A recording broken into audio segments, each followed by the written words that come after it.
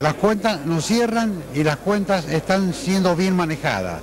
Lo que a veces no nos cierran son la demora que ocurre con la participación que no se nos entrega a tiempo, con lo que hace falta que nos entreguen de coparticipación, porque como hoy aparece como una defensa de la nación contra las provincias, hay un ataque indebido y hay ciertas provincias como la mía que no lo tolero.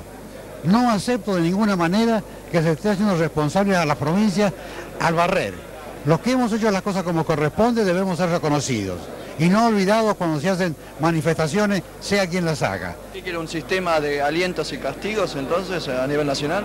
Yo no quiero castigar a nadie, yo quiero que si yo estoy haciendo las cosas como corresponde, se me considere como alguien responsable que estoy haciendo las cosas bien.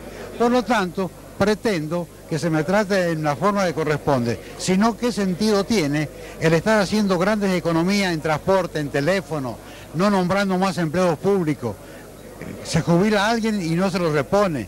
Estamos dando licencias con seis, con seis meses de antelación a la gente que le falta para jubilarse, para dejar libre una cantidad de empleos públicos. Estamos haciendo todo lo que podemos. Desocupación no vamos a provocar de ninguna manera pero estamos haciendo todo lo posible para que esto sea una cosa que se maneje armónicamente. Entonces, lo menos que quiero, los otros días me llaman acá y me dicen, a ustedes, como son los que han hecho mejor letra, le damos al final la posibilidad de que tengan los fondos para los mini emprendimientos municipales.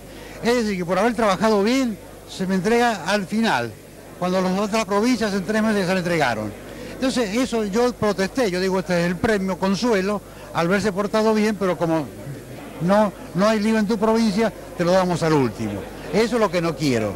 Y por eso es que yo elevo mi voz de protesta, porque están mezclando todo en una sola bolsa, porque hay una campaña que se ha desatado en contra de las provincias. Y yo voy a defender a la mía.